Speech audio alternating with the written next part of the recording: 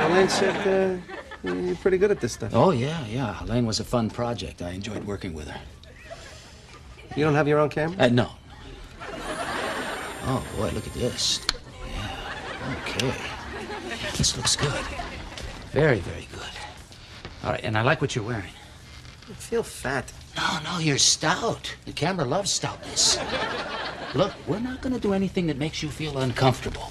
The key word is tasteful. Now, I want you to relax and have fun, because you're a fun guy. All right, let's do it, huh? Yeah. Yeah. Okay.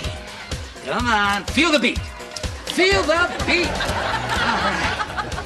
Well, you know, you got some real strong pecs, but it's hard to tell under that t-shirt. You want me to take it off? Well, I don't know. It's up to you. You think it would be better if I did? It might be. I mean, whatever you want.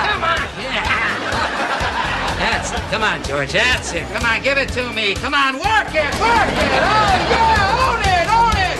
Yeah, be a man, be a man. Lover boy, you are a lover boy. Oh, yeah. This can't miss.